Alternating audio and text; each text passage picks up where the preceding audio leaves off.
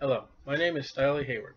I would like to welcome you to the Blessed Hope Ministry. We are a King James grounded family Bible study. These lessons are not to be a substitute for regular church attendance. Nightly, I direct my family through the Bible by chapter and verse. We request you to join us and to study from God and His Son, Jesus Christ. You may have permission to like, send, or encourage our studies with family or friends.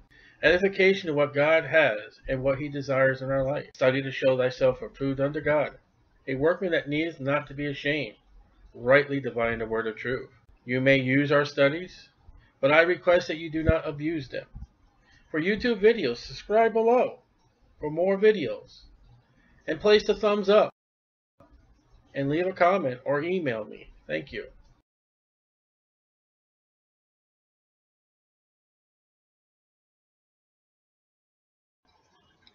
Numbers chapter 31 And the Lord spake unto Moses, saying, Avenge the children of Israel of the Midianites. Afterward shalt thou be gathered unto thy people. You're going to die, Moses.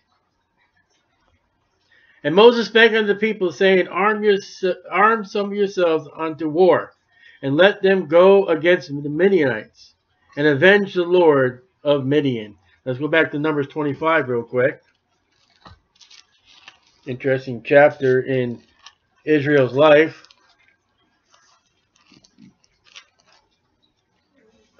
yeah, chapter 25, in Israel bold and Shittim, and the people began to commit whoredoms with the daughters of Moab. And they called the people unto the sacrifices of their gods, and the people did eat and bow down to their gods. And Israel joined himself unto Baal Peor, and the anger of the Lord was kindled against Israel. Remember, this is the gods of the dead. Scripture with scripture. Now, verse 6 And behold, one of the children of Israel came and brought unto his brethren a Midianitish woman in the sight of Moses. And then verse 18, the last verse of this chapter. And they vex you with their wiles.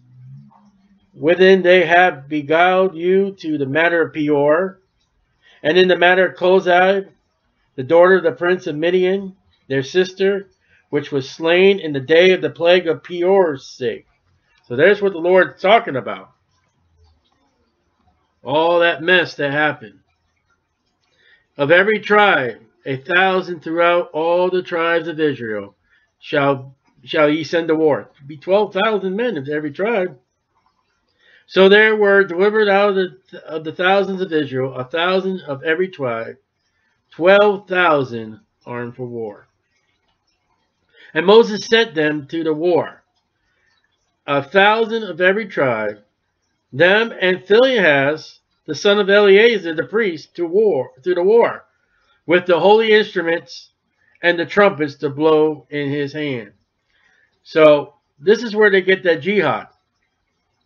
Right here. It's a holy war. But it is a war against sinners. You know, you know, people say, well, God said, thou shalt not kill. Well, what do you do here? What do you do when Joshua goes in the land? God says, you, you kill every single one of them people in that land. And yet the law says if, you know, there are people outside the land, you can make peace with them. God has a war against people that sin, and we'll see more understanding as we go further in this chapter. But here God's telling them, kill them. And this is where you get people with their religious wars. This is where you get the Catholic Church. This is where you get the Muslims. We'll see God's for war. You mean a church killing Christians, carrying a Bible, and preaching to people the gospel? They're the enemy? Meanwhile, while you're buying off, selling off, and doing everything anti-Bible, you're the good ones? No, it's reversed. And they warred against the Midianites as the Lord commanded Moses, and they slew all the males. And they slew the kings of Midian, beside the rest of them that were slain, namely Evi, and Rekem, and Zur, and Hur, and Reba, five kings of Midian. Balaam the son of Beor, there he is, they slew with the sword. That's Balaam. Chapter 25, chapter 24, 23, and 22. There he is. He dies amongst the people that he got fame. We'll read more about him in a minute. And the children of Israel took all the women of Midian captives, Remember what we read in 25? Mhm. Those women were dedicated to Peor. And it made God PO'd. Hey, I like that.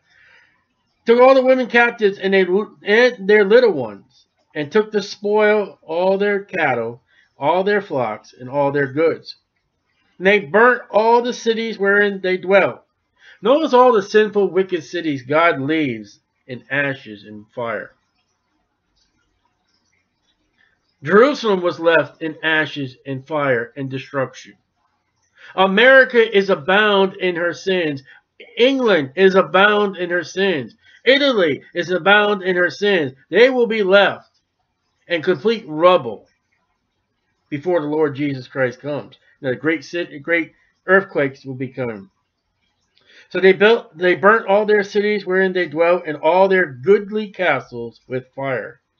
And they took all the spoil, Oh, and they burnt all their cities therein dwelt, and all their goodly castles in fire.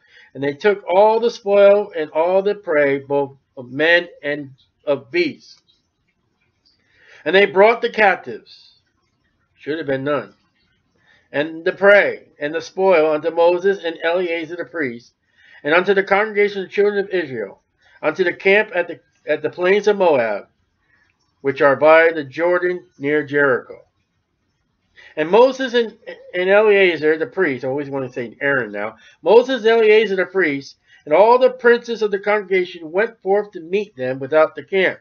So you got the armies coming, Moses, Eleazar, and the captains, they're going. Moses, Eleazar, and the princes have no idea what just happened. And Moses was wroth with the officers of the host, the army, with the captains over thousands and the captains over hundreds, which came from the battle. And Moses said unto them, Have you saved all the women alive?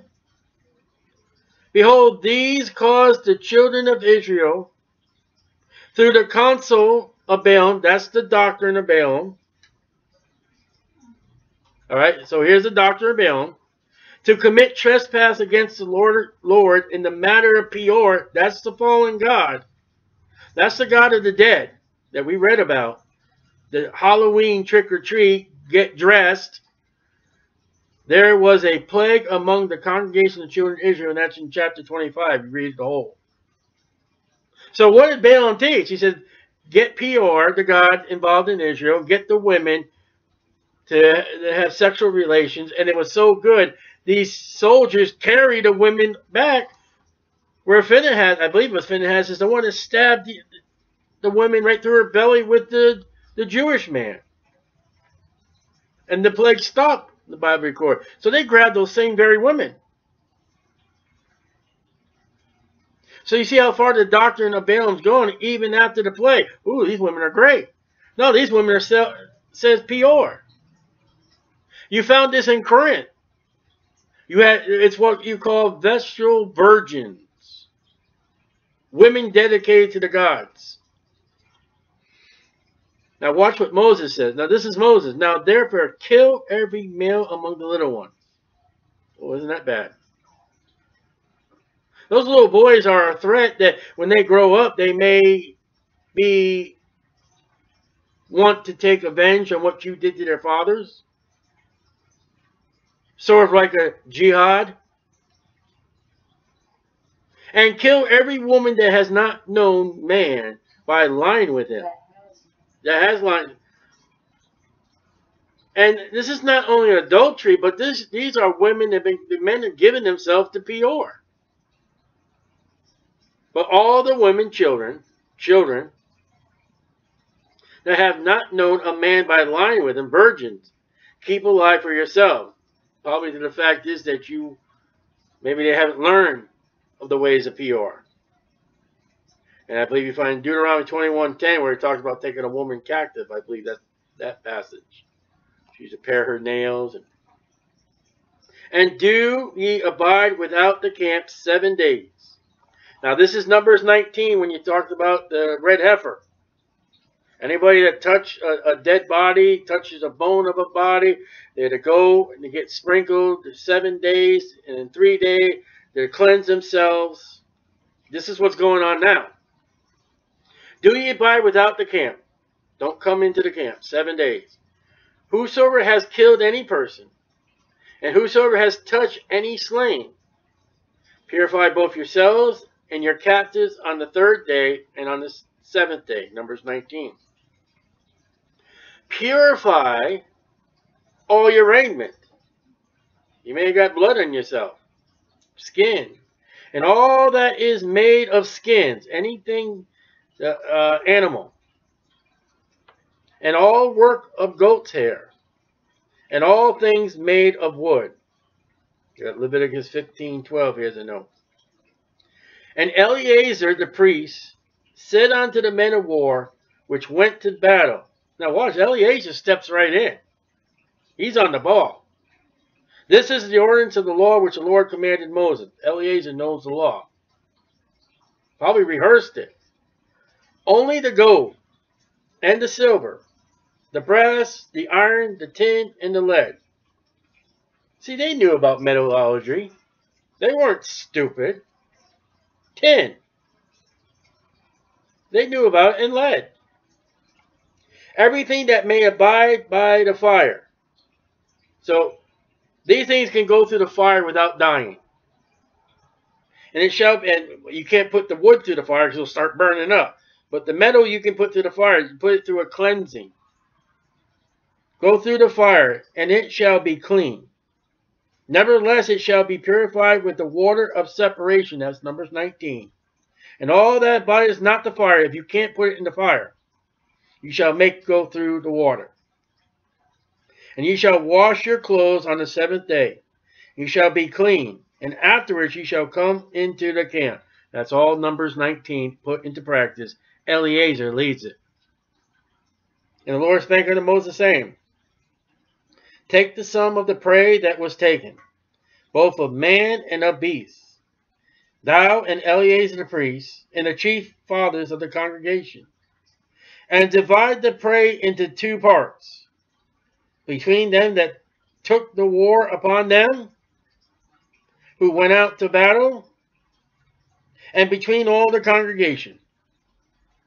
So here we see like David, he that tarries by the stuff and he that goes to battle, you share it amongst the thing, everybody. And this happens with the law of soul winning and doing a ministry. Not everybody can go out in the field, but there are people who pray, there are people who do things behind the scenes, and they get rewarded just as much as the person that took part. I mean, if you got a guy who goes knocking on doors, well, you got home, you got a, a five month young baby at home that you you know you can't take care of, and mom's got to stay home and take care of that baby while you go knock on doors. What God's so cruel she's not going to get nothing? If she's home praying, reading her Bible, taking care of her children like the Bible says, and is unable to go with him, David says, hey, those people were too tired. They couldn't go. They couldn't go into battle. They was just so, they had to stay behind. They watched the stuff. And we share it with them, the work. And leave levy a tribute unto the Lord of the men of war which went out to battle. One soul of 500, both of the persons and of the breeds, beads, excuse me, and of the asses and of the sheep. Take it of their half, and give it unto Eleazar the priest, for a heave offering unto the Lord. So the Lord gets his portion. And of the children of Israel's half, children of Israel are going to get some.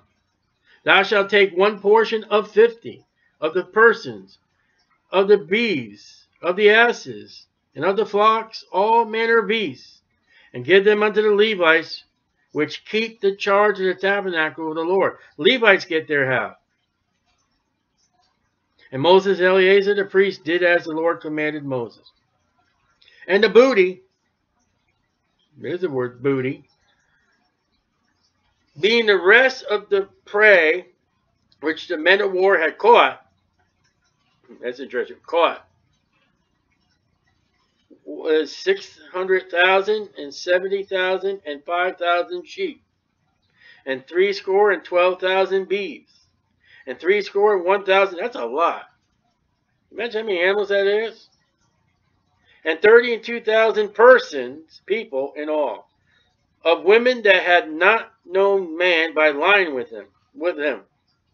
So thirty-two thousand women,